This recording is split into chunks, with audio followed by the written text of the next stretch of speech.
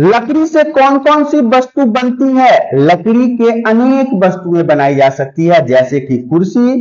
table दरवाजा खिड़की मेज आदि वस्तुएं लकड़ी से ही बनाई जाती है